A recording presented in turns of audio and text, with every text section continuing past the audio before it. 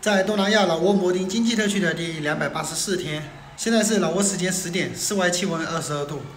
他娘的，我才刚睡醒，外面下雨了！兄弟们，给你们看看，外面下雨了，而且雷声大作，不知道哪里来传来的声音。远处下面这里，好像有些人在那边哇哇叫。真的是久旱逢甘露，从年前开始到现在，已经很久很久没下雨了。前天的时候有滴那么几滴。昨天也有那么稍微有一点想下雨，今天终于是下了，但是他娘的我肚子饿了，没法出门吃饭，还好家里有备了几桶康师傅藤椒牛肉面，所以在家里面吃个泡面先嘛，垫个肚子。现在是老挝时间十一点半，外面下的雨终于停了。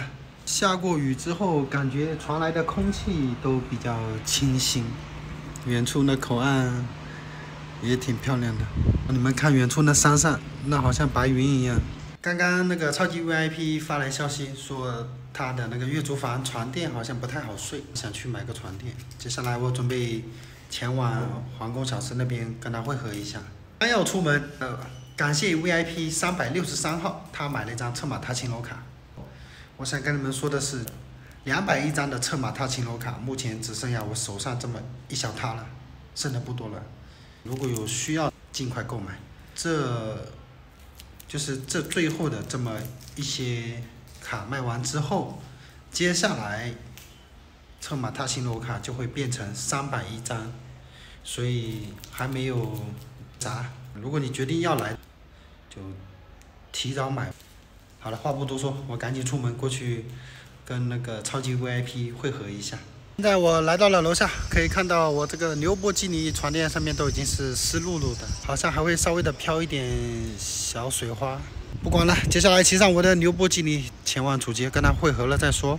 两三分钟时间我就来到了主街这边了，啊，也到达了现场。接下来我们前往那个半坡山庄看一下那个床垫。再次来到这个家居展示中心这边，我昨天来的时候看到有床垫。但是感觉有点薄，还好它这边上有这个厚一点的床垫，这个厚床垫的话还可以的。那我们问了一下价格，那个厚的床垫要九百，薄的床垫要四百，也太贵了。这个地方买家具、家居之类的，我们又跑到了这个阿叶家具电器这边来问一下价格。问了一下这边也是要九百，说明就是摩丁这边的家居家具都差不多这个价格。也就是说，都挺贵的。现在我们一堆人跑到这个重庆小面这边来吃饭。刚刚我们吃饱喝足了，他现在跑到这个他住的这里，让他换个床垫先。在路边遇到几个另外的 VIP。现在我们三四个人跑到这边的一个按摩店这里来了，等他召唤技师。刚开始按了一两分钟，然后网友就发来消息说他到口岸那边了。接下来马上弃中逃跑，我前往口岸去把他接进来。经过了三五分钟之后，我就来到了口岸这边了。现在我在我摊位这边等他，我还以为他出来了，结果他还要排队去盖章什么的。口岸这边的中老年团也人挺多的。现在买了一瓶美年达，边喝边等最后一个盖章的环节，这么久的吗？我都已经在这边等半个小时了，还没出来。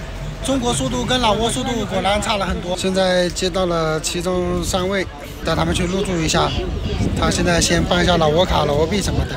那我带着他们来到了明华国际大酒店这边了。现在几个人在前台这边帮你入住。VIP 三六零，他买了一张策马踏青楼卡。那我带着他们几个到这个重庆红辣椒饭店这边，然后还是点的那几样：蒜蓉炒生菜、回锅肉、番茄炒蛋。老三呀！我们一堆人在这边等上菜。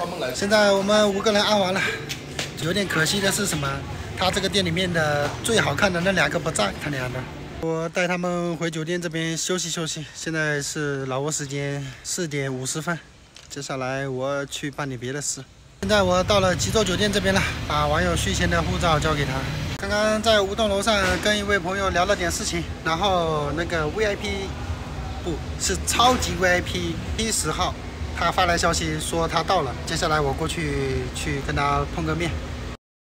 我到这边了，把他接上了。我带他到这个香油来这边了。我们的老板娘人没在，我给他打了个语音，等他过来。现在在前台这边办理入住。